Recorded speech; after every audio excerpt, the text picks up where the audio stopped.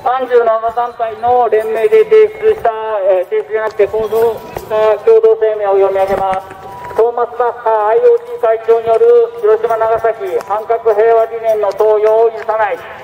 えー、米国のメディアでぼったくり男爵と命名されたトーマス・バッハ国際オリンピック委員会 IOC 会長は日本国と東京都の税収を自分の組織のために略奪するだけでは満たらず核兵器廃絶を求めて越冬を重ねてきた広島長崎の被爆者の歴史的伝願を危険にまみれた現代オリンピックの醜い本質を覆い隠すために登用しようとしています。その目論みのために本日1月16日バッハ会長は広島を IOC 副会長のジョン・コースは長崎を訪問すると報道されています。あまりのことに私たちの怒りはすでに一点を超えています。この続けの選択について国連が定めたオリンピック抽選の開始日に当たるという理由が挙げられています。しかしこの日は1945年米国ニューメキシコ州ニューメキシコニューメキシコ州で世界最初の核実験いわゆるトリニティ実験が行われてから76年目にあたります。この実験の後20日余りで広島と長崎に対する原爆攻撃が行われ日本人ばかりでなく多くの朝鮮人や中国人台湾人米兵などの戦争を捕虜を含むさまざまな国籍の人々が虐殺されました。犠牲者は50万人を超えるこの空間列島の、えー、ジェノサイドの罪を米国は今今日までなお認めていません。このような日に中傷を求める民意をして強行されようとしているオリンピック平和の祭典という仮面が今や下がり落ちたオリンピック。これまでの核兵器廃絶に何の関心も示しておかなかったオリンピックが上辺を飾るために広島と長崎に触手を触手を伸ばしています。この中での五輪開催強行を正当化するためにバッハ会長が核のない平和な世界のイメージを利用することに被爆者に対する利用することは被爆者に対する冒涜でありこのような所業は世界の核兵器廃絶運動にとって100回があって一なしです、えー、基準国が50を超え今年1月22日に発行した核兵器禁止条約の締結をかたくなに、えー、阻むかたくなに拒む日本政府が IOC 幹部の被爆者訪問を歓迎しているということがその何よりの証左です。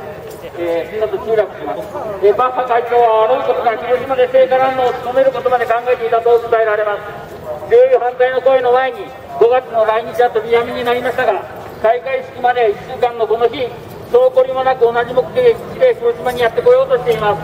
オリンピック開催のために誰もが犠牲を払わなければならないと平然と言ってのける人物日本国民が粘り強く逆境を乗り越えてきたことは歴史を通して証明されている。などと還元を下ろして五輪開催の受け入れを迫るその高慢な人物に核のない平和な世界を語る資格はありません。私たちはバッハ会長コース会長の被爆地訪問を断固として決します。1920年4月14日。ということで、え37団体連盟で提出されました、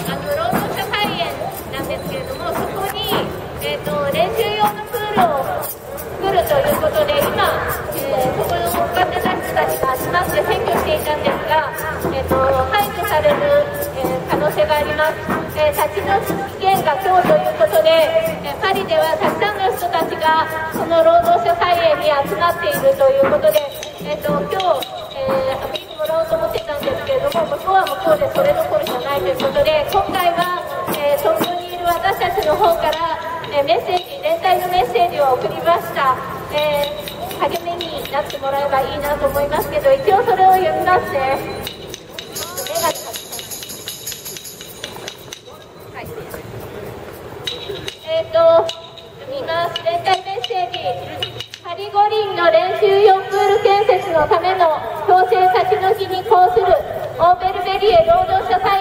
仲間たちへ2024年のパリ五輪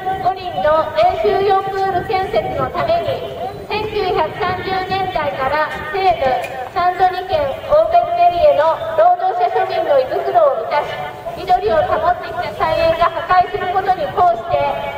守るべき菜園の選挙を続ける仲間にパンデミック下の東京から連帯のアピールを送ります。この守るべき菜園の破壊は、紛れもなく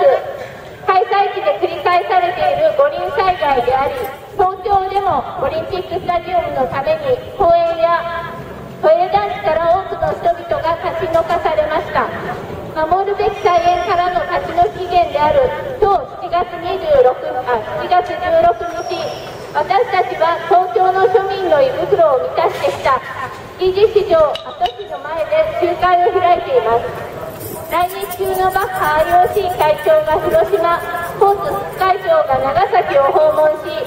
平和の五輪を演出することに抗議するためです。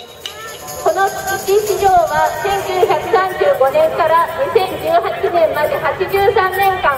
東京の人々の胃袋を満たしてきた。守るべき大市場でした。しかし東京五輪を前にした2018年10月に営業継続の声をではその広大な土地が東京売りパラの輸送車両基地になっています。今日集まったところです今東京をはじめ日本では多くの人がパンデミックを理由に五輪開催に反対しています。しかし復興五輪で福島を利用し平和五輪で広島を利用するオリンピックが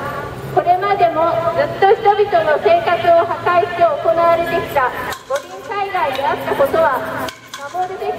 や守るべき大市場をはじめ守るべき健康守るべき罪やあ罪か守るべき緑守るべき人権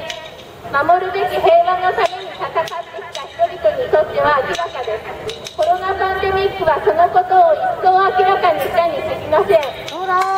オリンピックはナショナリズムとキャピタリズムという2つの支配的システムに完全に寄与しているので支配者たちにはそれを止めることはできませんオリンピックを中止させそれを永遠になくすにはこの2つの支配的システムそのものに挑戦す。るしかありませんパリはかつて最初にその挑戦を初めて世界を震撼させた都市の一つです。私たちはこの挑戦をオーベルベリエや世界の仲間たちと続けていきます。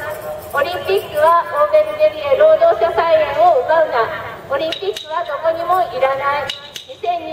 記念7月16日東京、えー集会参加者お断りいたします。